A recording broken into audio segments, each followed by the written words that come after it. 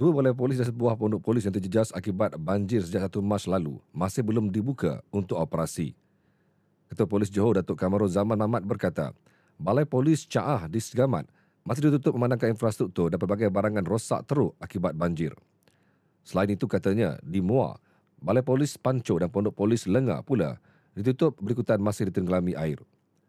Beliau berkata demikian ketika ditemui selepas pelancaran program bantuan pasca banjir kontingen Johor di Pusat Polis Kontingen Johor hari ini. Ditanya berkaitan anggaran kerugian dialami bagi tiga fasiliti itu, Kamarul Zaman berkata ia masih belum diputuskan. Sementara itu, Kamarul Zaman berkata setakat ini tiada laporan pecah rumah diterima pihaknya sepanjang sembilan hari banjir melanda negeri itu.